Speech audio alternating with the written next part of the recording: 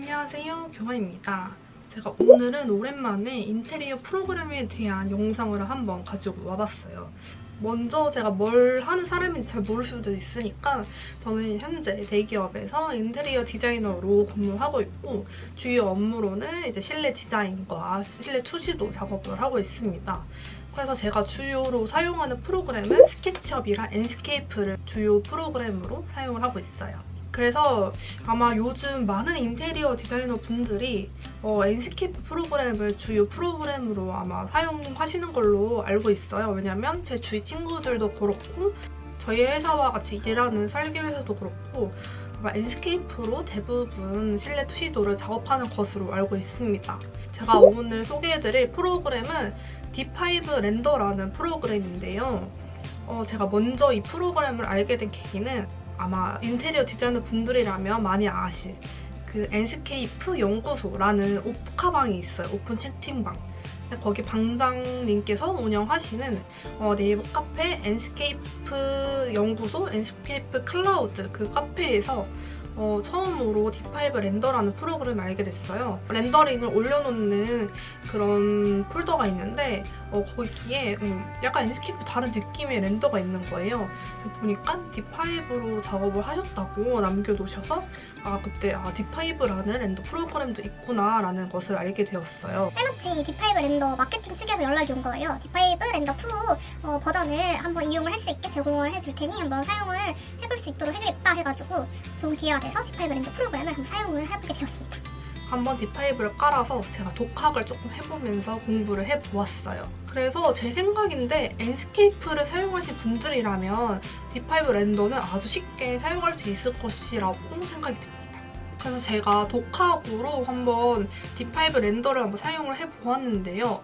그 과정을 한번 영상으로 녹화를 해보았어요. 근데 다만 여기서 양해를 드려야 될 점이 제가 화면 녹화하는 것이 처음이어가지고 어, 화면 녹화를 해봤는데 그 메인 창은 녹화가 됐는데 조그만 작업창들이 녹화가 안 되더라고요.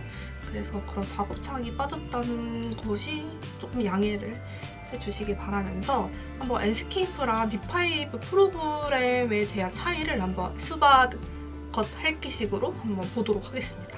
그래서 먼저 Enscape 프로그램은 이거 보시다시피 어, 여기 이렇게 Enscape 라이브러리에서 다운받은 소스들은 이렇게 하얗게 나오는 것을 볼 수 있어요. 밑에 보시면 이런 bar light도 그렇고 또 이렇게 사람도 이런 식으로 Enscape 라이브러리에서 다운받아서 넣게 됩니다. 식물도 이렇게 하얗게 어, 하얀 물체 이런 식으로 보이게 되고요. 이런 식으로 다운을 받아가지고 이렇게 넣고 빵 같은 것도 Enscape 라이브러리에 소스가 다 있어서 이런 식으로 넣어서 작업을 하고 있습니다.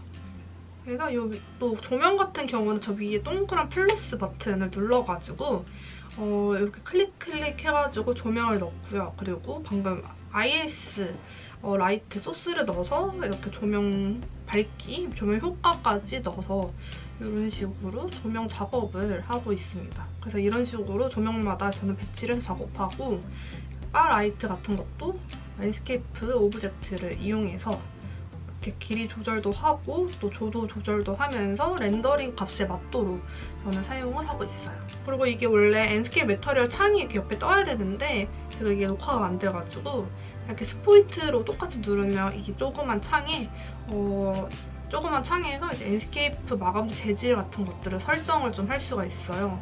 이제 이 Enscape 렌더링 화면이거든요. 이 렌더링 화면에서 어, 뭐 불빛 강 불빛 강도 같은 거 좀 더 조절을 하고 또 노출값 같은 것, 또 아웃라인 값 같은 거를 조절을 해가지고 제가 원하는 렌더링 값을 조절을 해서 최종적인 렌더링을 뽑아내곤 합니다.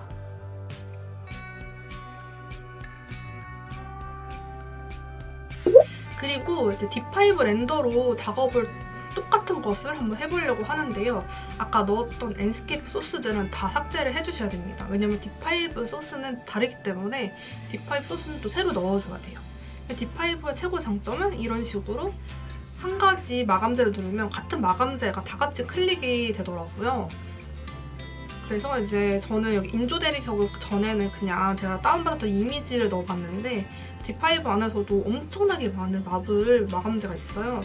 거기서 이제 제가 원하는 아이보리 톤의 마감재를 찾아서 넣어주고 또 색상 조절도 해주면서 사용하고 있습니다.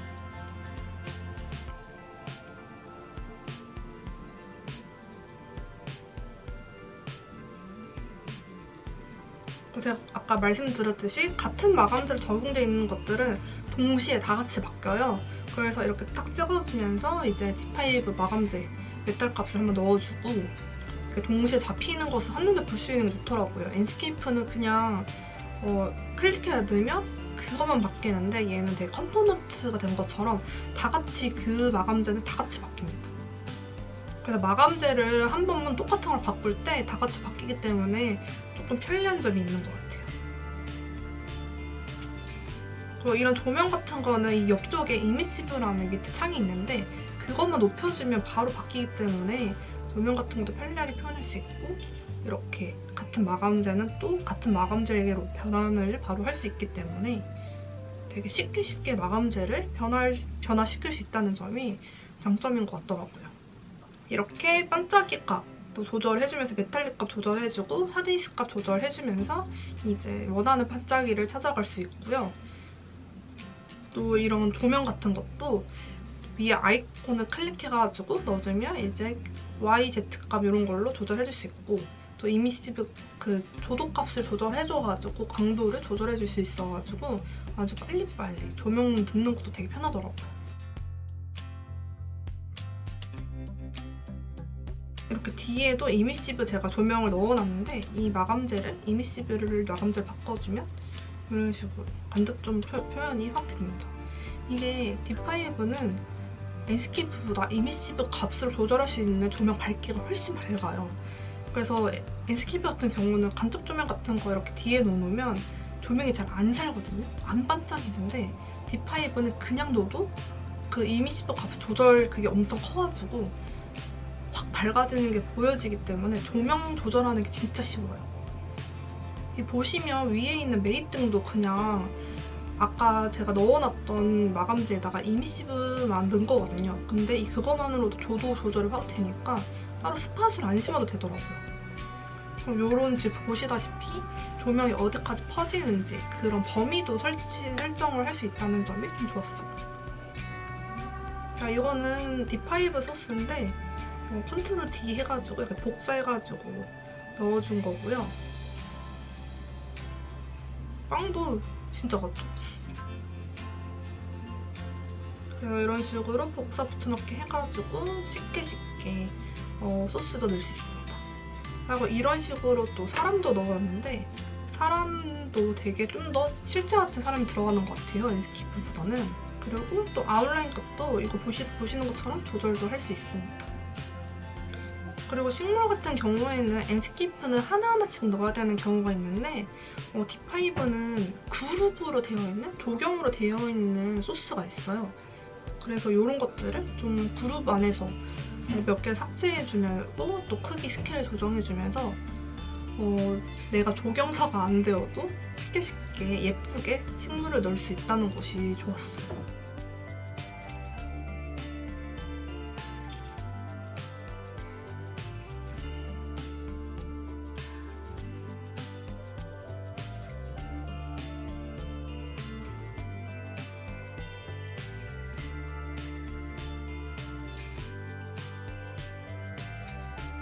그리고 사람 같은 경우도 엔스킨이랑 똑같아요. 다만 얘는 이런 축 같은 걸로 물체를 조정해주는 게 좀 더 편하고요.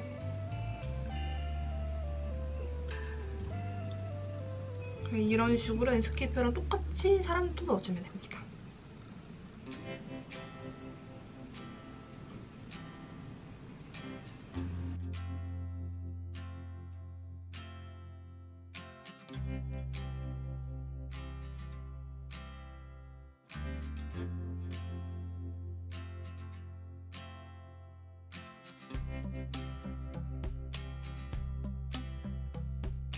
그리고 HDRI도 어, 엔스케이프보다 얘가 조금 더 종류가 많아요. 그래서 기존에 제공하고 있는 HDRI도 충분히 활용할 만한 것 같아요.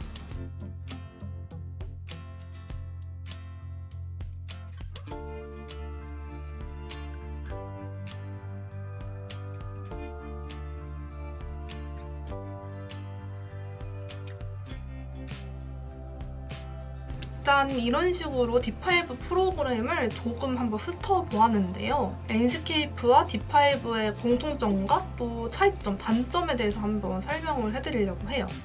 제가 정리를 해놨는데 한번 보면서 얘기를 해보도록 할게요. 그래서 먼저 첫 번째 공통점은 둘 다 실시간 렌더라는 점이에요. 아마 제가 대학생 때까지는 V-Ray를 사용하다가 어, 제가 실무 1년차까지도 V-Ray를 많이 사용했어요. 그러다가 이제 점점 엔스케이프로 병 바꿔갔거든요.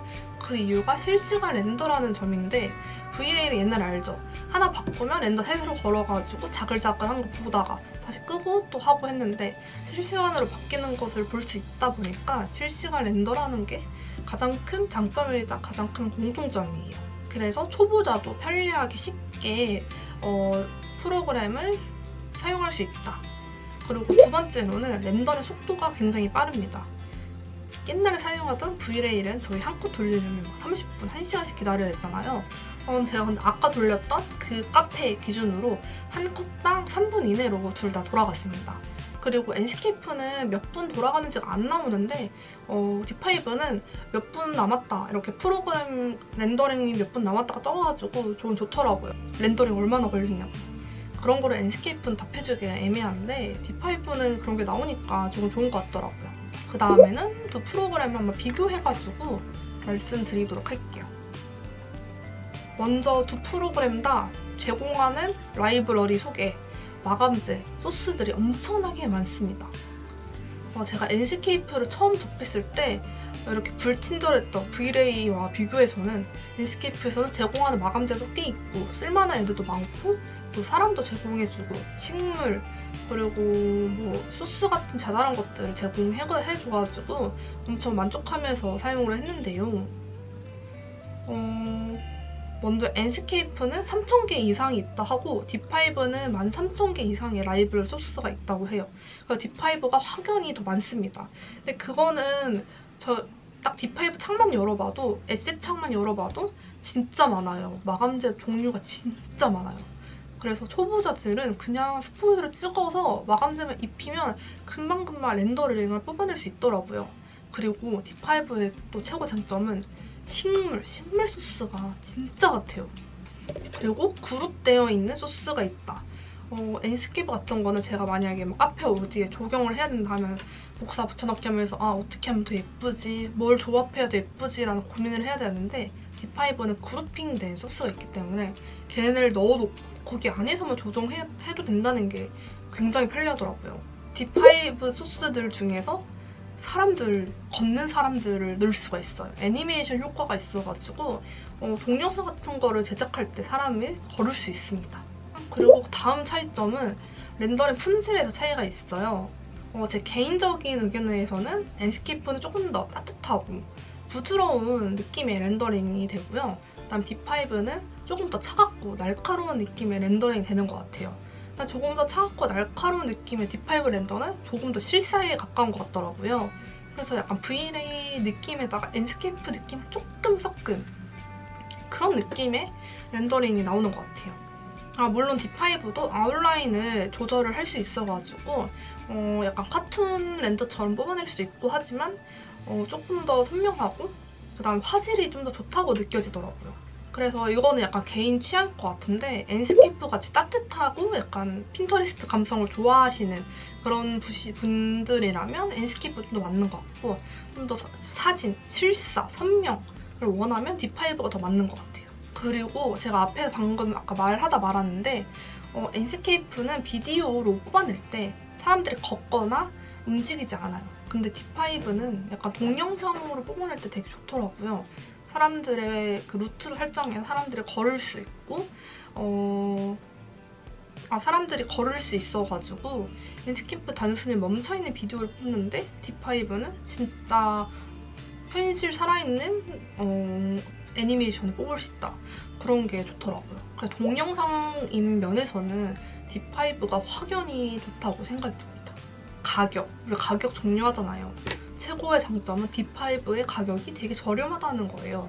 어, 엔스케이프는 한 달에 11만 5천 원 정도 어, 가격을 내는데 D5는 30불밖에 안 냅니다. 30불이어도 비싸봤자 5만 원 정도니까 진짜 반값 이상 저렴하거든요.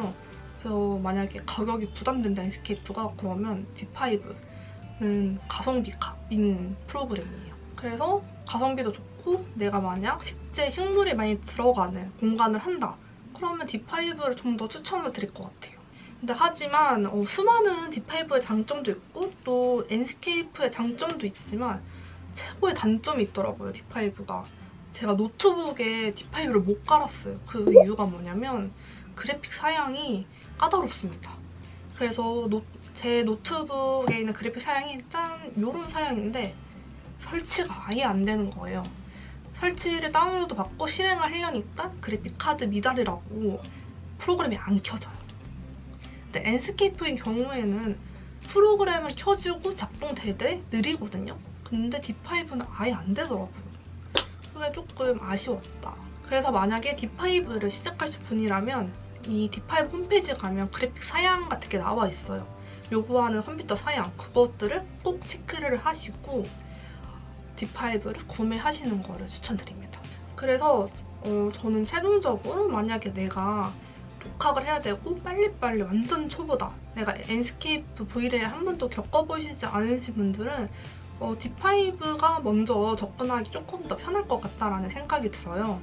왜냐면 메뉴나 마감재 재질 같은 게 어, 조작하기 좀 더 쉽고 종류도 훨씬 많고 그래서 완전 초보자분들은 D5를 이용하면 조금 더 좋은 퀄리티의 렌더링을 뽑아낼 수 있을 것이라고 생각이 듭니다. 하지만 D5랑 Enscape 그리고 만약에 내가 동영상을 많이 뽑아내야 되는 직군이다. 동영상을 많이 보여줘야 된다. 또는 조감도 작업을 많이 해야 된다 하면 D5가 좋은 것 같아요. 왜냐면 식물도 훨씬 많고 사람도 좀 더 걸어다니고 자연스럽고 그리고 D5가 뭐 AI 기능 그런 것도 도입을 하고 있다 하는데 제가 아직 업데이트된 것은 체크를 못했어요. 그래서 그런 것들도 살펴보면서 D5가 지금 새롭게 뜨고 있으니까 아마 제 생각에는 업그레이드가 계속 될 것 같단 말이죠. 그래서 이제 Enscape도 조금 더 힘을 내, 내야 되지 않을까. 그래서 저는 지금 D5가 얼마나 더 발전할지 되게 궁금증을 가지고 있는 사람이었고요. 결론적으로는 Enscape도 D5의 발전에 맞춰서 같이 경쟁을 해야 된다는 의견입니다. 그러면 오늘 영상 도움이 되셨다면 구독, 좋아요 눌러주세요. 안녕!